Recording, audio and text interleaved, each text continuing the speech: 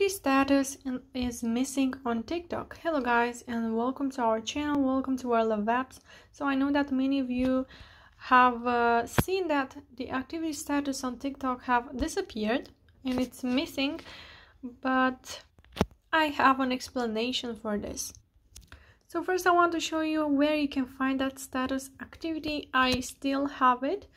You just have to go on three those three lines from the right top corner which are here and then click on settings and privacy and then from here you have to go to privacy once again which is here.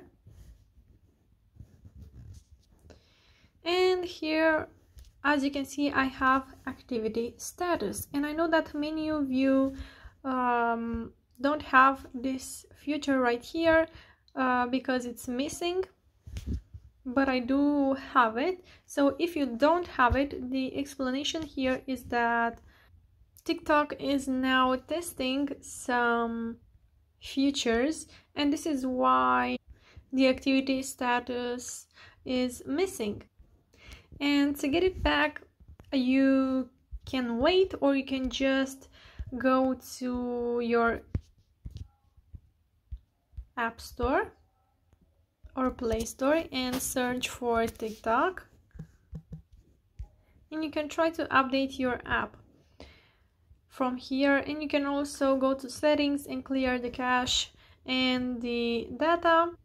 But most of the times you can just wait until they give this back. Because I don't know if you have noticed but TikTok is TikTok updates the app really often, and some features may disappear and then appear back. So I hope this video was useful for you. If it was, you can like this video and subscribe to our channel. And if you have some questions, you can comment in the section down below. Thank you so much for watching guys. Have a great day. Bye bye.